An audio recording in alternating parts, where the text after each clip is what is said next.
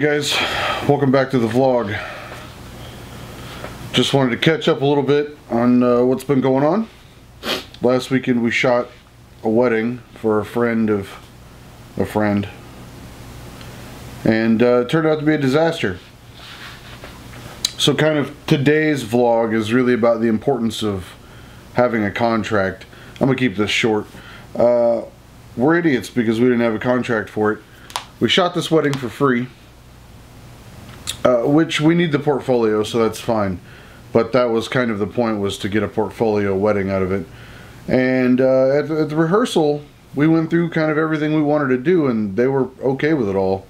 And then the day of, they weren't okay with any of it. So we kind of got screwed while we were on venue, on set, uh, during the middle of the shoot. Uh, we couldn't get cameras on the stage. We didn't get any prep time. We didn't get any like pre-wedding stuff at all. No dress shot before the dress was on.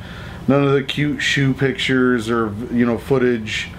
Uh, none of that kind of stuff. We didn't get any toasts. They didn't want to read letters. Like all the standard things that we, we would normally want to do for a wedding, they they pretty much they didn't do any of it. So uh, they did say uh, during the rehearsal that we should bill them but since we were doing it for free to begin with, just for the portfolio, we didn't really know uh, how much to bill them. So going from like nothing to full price is, you know, a little frustrating. And um, we, we all kind of feel a little bad about doing that. But I mean, what else do you say? We, we only have one wedding package. It's not like we have a bunch of different options. We have one wedding package. So anyway, the consensus was uh, that we would just tell them, look, we were shooting this for free anyway, but here's our normal price. You know, pay us what you feel like because we can't use this for a portfolio anyway. But now we have a contract for weddings. It's not completely done.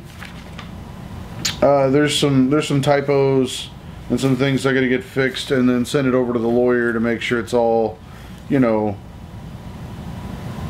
usable and whatnot. But not having a contract is ridiculous. Uh, I don't know why we didn't have a contract for weddings. We haven't really shot any yet that were not friends. And I don't know that even if we had one, we would have necessarily, you know, hey, you're our friend, here, sign this contract anyway. So but the idea behind it is that if somebody wants uh, a wedding that we can use in, in our portfolio and we're willing to shoot that for you know less than full price we have expectations. And if those expectations aren't met for us then it's not usable in our portfolio. So the wedding is worthless for us which means that instead of being compensated by a, a, portfolio shoot, we need to be compensated by financial means.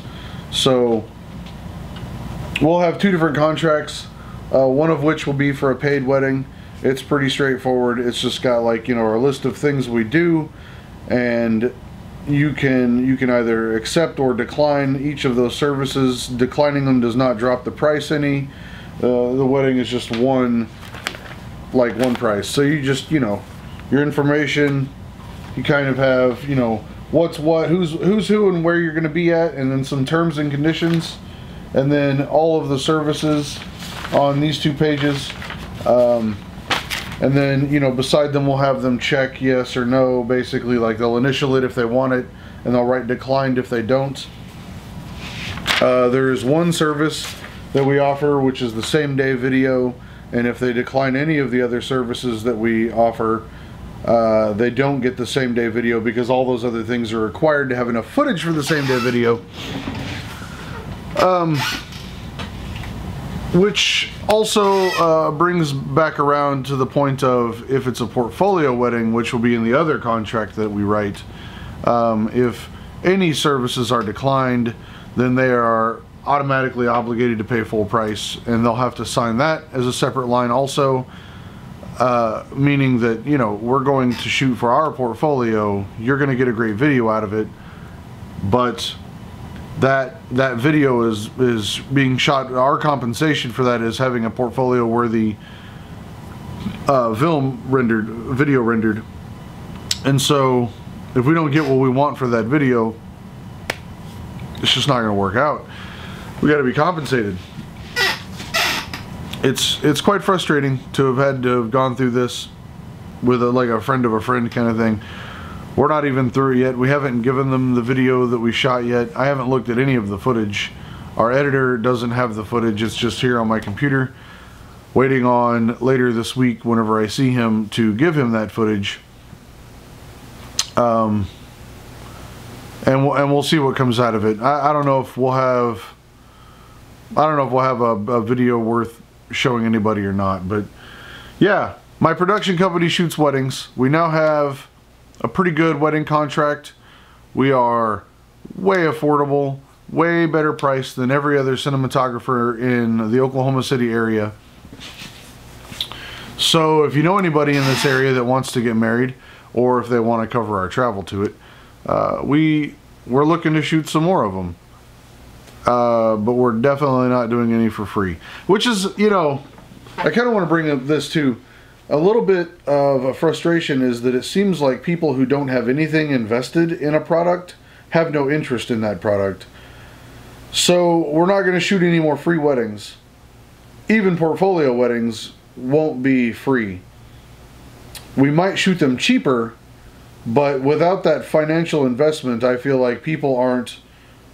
Uh, they're they're not they're not they don't respect the product. They're not interested in the product and so making them invest a little bit into it makes them care more about what we're doing, which is good for us. And the other thing too is, how are you going to pay a photographer more than a cinematographer? We bring in 10 times the gear and we do 10 times the work. And we're not imbeciles. We don't take pictures with direct flash on camera with a 70 to 200 millimeter lens you know like what what? That i mean no. If you're a photographer and you're shooting with a huge lens there is no reason for you to have the pop-up flash on your camera being used whatsoever. You're an idiot. Stop it. Don't do that. You're a child. Get a cell phone. You'll take better pictures. Oh sorry my inner jeff came out God. All right, so Jeff would have a lot more to say about it than that, but you know that's that's essentially that. We actually did work with some pretty good photographers at this wedding, though. It just uh, bewilders me that they paid the photographers more than we would even charge to begin with, and that's confusing to me because why have pictures when you can have a film?